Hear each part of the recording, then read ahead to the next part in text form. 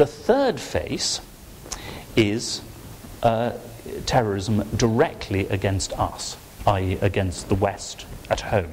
Not against Western forces in Afghanistan, but against Western countries in the West. Now, here, at least until the location of bin Laden, which I must say gave me cause to question some of my previous assumptions, to be perfectly honest. But at least until the location and death of bin Laden, I would have said that on that score, the Pakistanis had been generally, though by no means always, supportive and helpful. They are certainly not backing terrorists, I mean the Pakistani authorities and the military, to come and attack the West. And for that, there are two reasons. Uh, the first is they see absolutely no interest in it. They, they don't see how that could possibly help the, the national interests of Pakistan. A subset of that, uh, true of some of the military, but even more true of the political uh, elites in Pakistan, is that, not that I'm not sure always touch wood when saying these things, God forbid, but you know, if, if one were to imagine a, a sort of a, a, a likely target um, for an Islamist bomb attack in London. Um, how about Harrods, you know, symbolizing Western decadence and the way that we've corrupted, you know, elites in the Muslim world? Well, that's the whole point, of course. Any bomb in Harrods in any given day would take out a chunk of the Pakistani elite.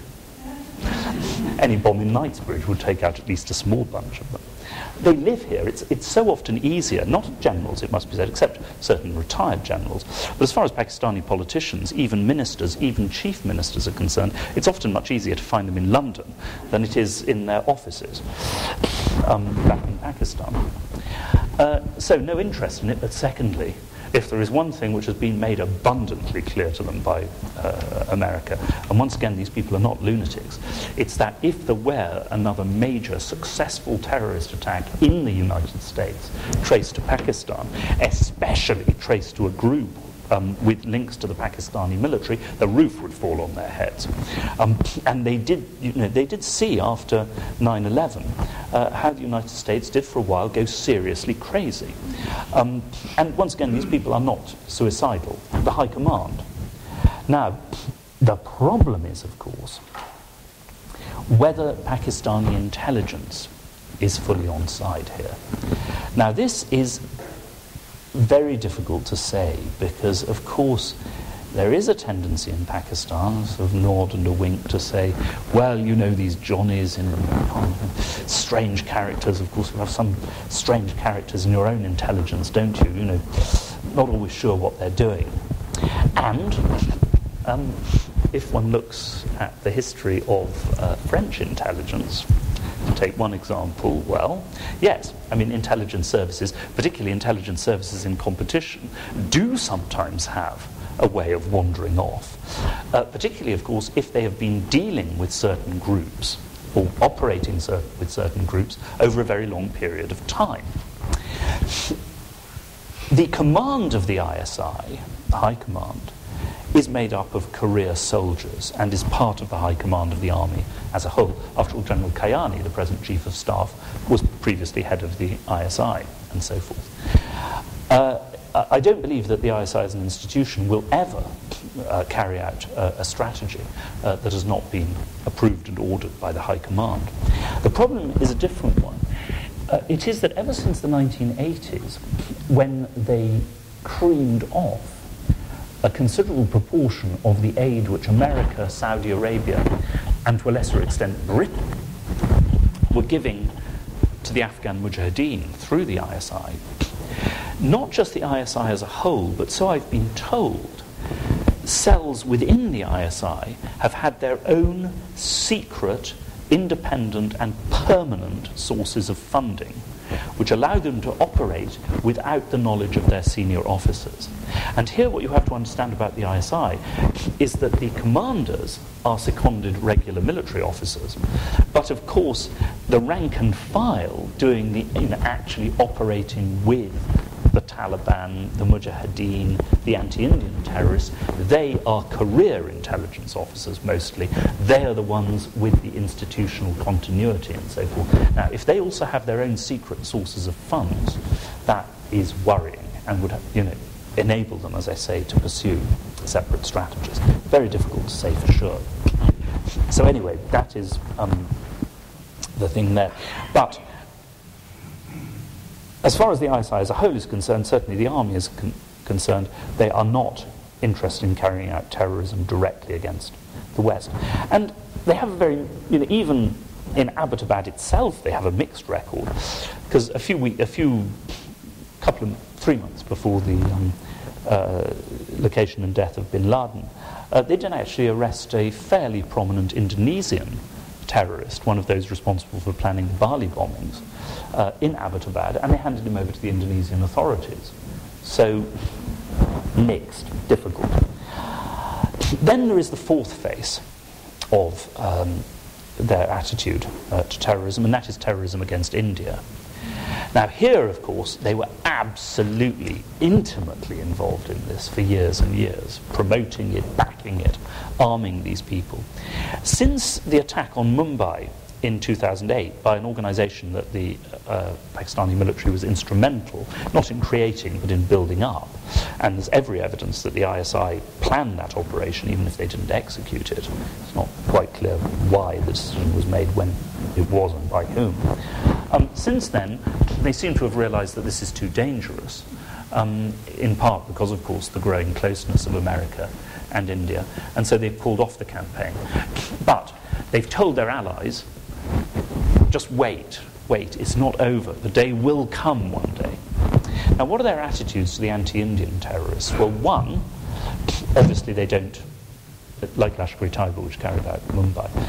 A, obviously they mustn't join the Pakistani Taliban in a revolt against the Pakistani state. Just, they mustn't destroy the Pakistani state. Secondly, uh, they mustn't attack the United States uh, or America's allies in Europe because that could come to exactly the same thing. Thirdly, as far as India is concerned, they have to stay on the shelf. As far as Afghanistan is concerned, open season. Officers will tell you, Pakistani officers, that they can't stop them. In fact, they're not really not stopping them, they're actually encouraging them to go there as a kind of safety valve. Because, and again, things in Pakistan get damn morally complicated. Because the Pakistani officers will say to you, well, look, what do you want?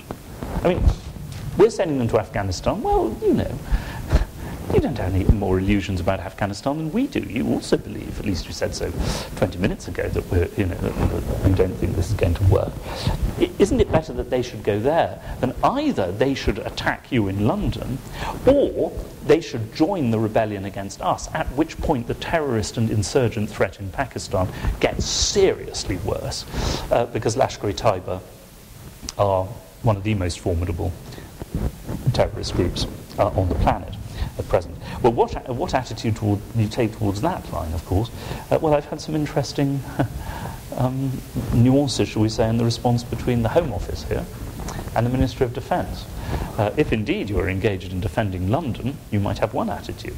If it's your boys who are dying in Helmand, you might have a very different attitude. So it gets complicated. Nonetheless, um, so far they have been able to tread this tightrope more or less. In part, of course, because they are no longer simply dependent on the Americans for aid, they have China on their side. Not nearly as much on their side as they would like it to be. The Chinese are certainly not queuing up to pour money into Pakistan. They are just as skeptical of Pakistani corruption and incompetence as everybody else is. And secondly, the Chinese are not looking for trouble.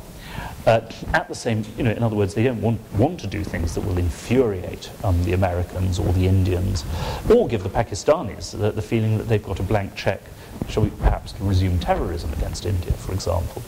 But equally, they are committed to the survival of Pakistan, which they see as, I mean, a backstop, a reserve option, but nonetheless a very serious asset, especially when it comes to potentially to energy routes if the sea routes across the Indian Ocean became highly problematic from their point of view. So they have this in the background.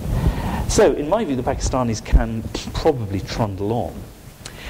The problem is that trundling on won't hack it. The reason it won't hack it is not to do with Islamist revolt, uh, it's not uh, even to do with short term economic collapse.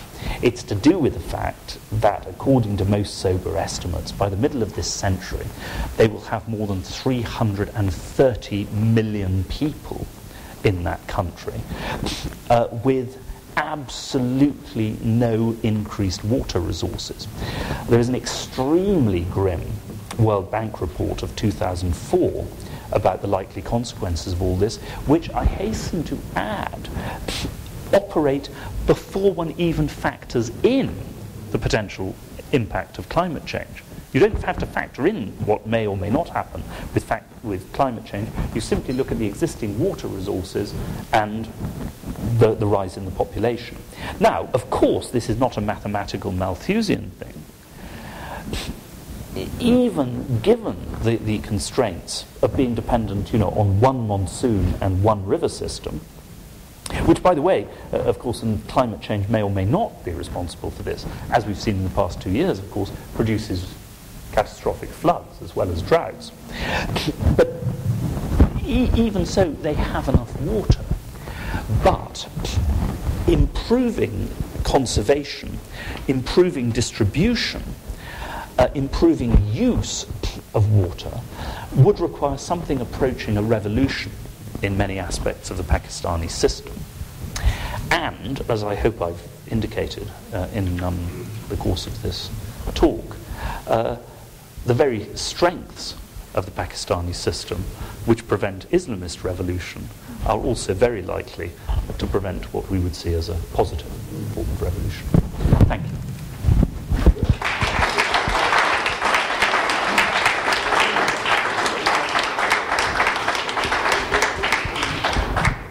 I, should say, by the way, that, that uh, I tried to cut down on the, uh, the anecdotes for reasons of length, but by way of a small advertisement, fat though the book is, it is packed with anecdotes. I'm still a journalist at heart.